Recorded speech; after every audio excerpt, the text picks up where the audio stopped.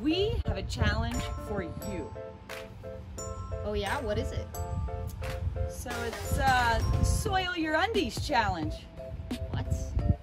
Yeah, I thought you'd say that. So we're gonna soil our undies. Not our undies, but we're gonna use cotton and polyester undies to show us how healthy our soil is and also help us see how differently different fibers break down.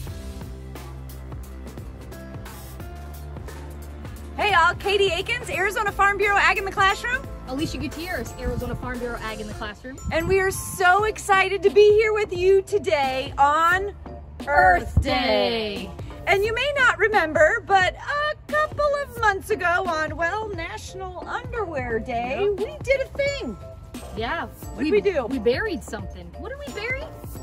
Well, I think we soiled our undies. We did. Yeah, so what does that mean? If you don't remember, several months ago, we took a pair of cotton underwear and a pair of, Polyester underwear. and we buried them right here in the soil out here in Queen Creek, Arizona.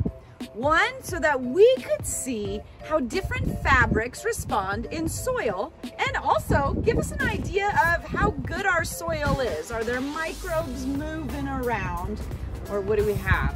So what we're going to attempt to do is find our soiled undies. So bear with us.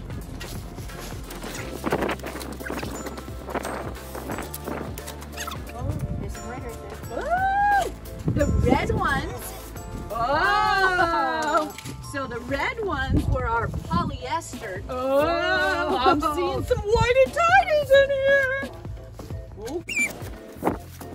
Ooh, come on in here. Looky, looky, looky. What do we got? Okay, so this. Oh my gosh. So this is our cotton underwear. It was our cotton underwear. Holy shnikes, my friends. Can you get a little shovel under here? It's just a little deep. I don't want to rip it. I want to be honest about what's in here, but oh me gosh. Where did they go? So you guys need to go back. We'll actually put it at the end of this to show you the video of the whitey tidies. We got some of the biggest ones we could find.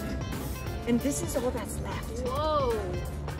That's unreal. So let's go ahead and take out those polyesters and see what what happened.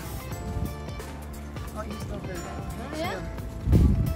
Oh, Oh my gosh, the it's nice and windy today. soiled more than my undies. Um, these look Almost exactly yeah, the same. just dirty. Yeah. But you can just wash them. Someone could wear these. Uh, I wouldn't suggest it. But here you can see a clear difference in when we are talking about natural fabrics like cotton or synthetic fabrics and their inability to break down back into the soil. Of course, cotton comes from the soil and apparently when you bury it, it goes back into the soil too. That's crazy. So now we know this is what happens when you soil your undies.